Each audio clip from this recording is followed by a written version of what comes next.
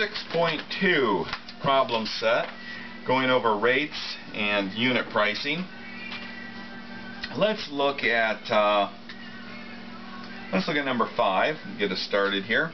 The flow of water from a water faucet can fill a three gallon container in or per 15 seconds. So, 3 gallon container in 15 seconds. Give the ratio of gallons to seconds as a rating gallons per second. No plural there, so we want on the bottom one second as usual. We're always going to be looking at trying to get this to be a 1. So all we're going to do is take 3 divided by 15 and we end up with 0.2. So handy to use a calculator on this.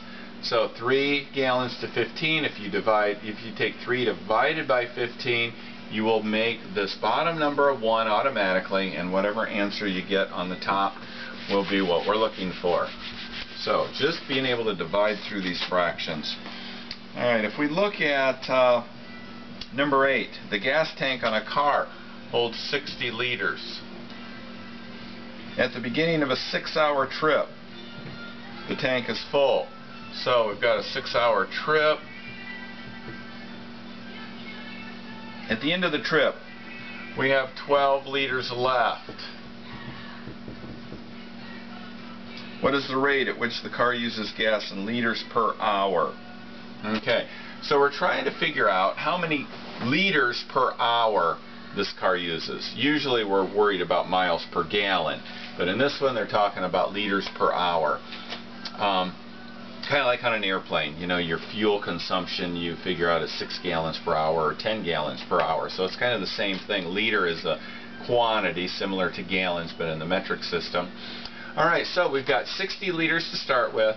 We had 12 liters left. Well, if that's the case, then we used um, 48 liters on the trip if we have 12 left.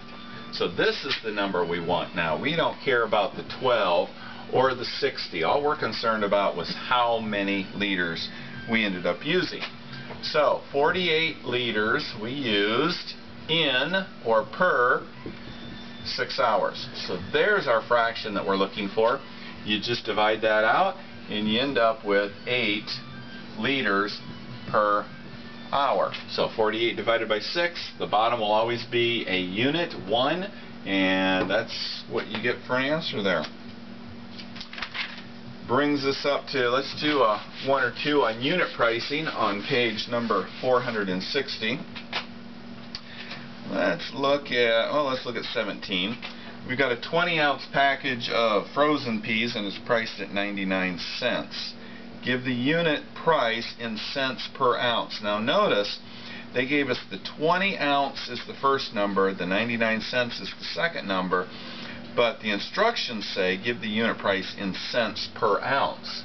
So they want it written as 99 cents per 20 ounces.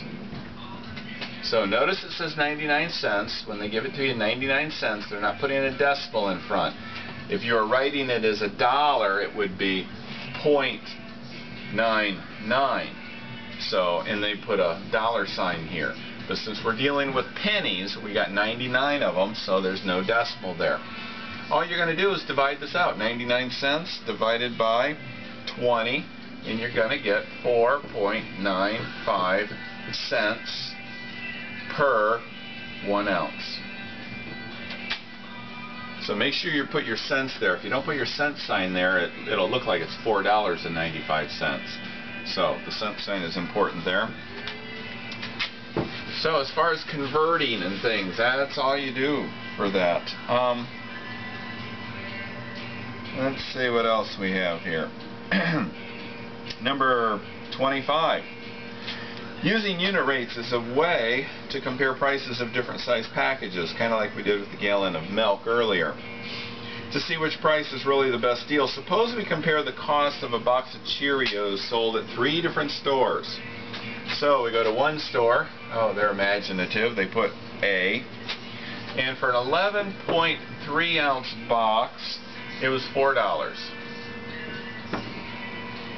At store B, we're buying an 18 ounce box and it's 4.99 and at store C we've got a 180 ounce box. Holy cow oh a case.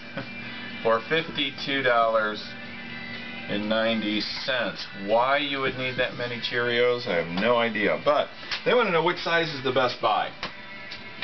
Well these are all in ounces so we don't have to change any of that. But we do have to make each one of these one ounce here in order for us to compare cost per ounce. So what we're going to do to change these to ounces is we're going to take $4 per 11.3, $4.99 per 18, and $52.90 per 180. So what we'll do is we'll divide these out, get in your calculator. So 4 divided by 11.3, 499 divided by 18, and 5290 divided by 180. And you will find out that the 18 ounce box actually sells for 0.277 per ounce. So because I have a decimal and a dollar sign, this is 27 cents or almost 28 cents per ounce compared to the other three. Okay, well that's our 6.2 problem set. We're ready for you to do the homework.